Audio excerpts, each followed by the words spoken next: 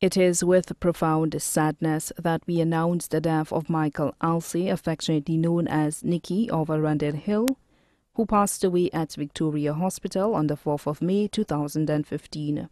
He was 37 years old. The funeral of the late Michael Alcee, affectionately known as Nicky, will be announced in a subsequent broadcast.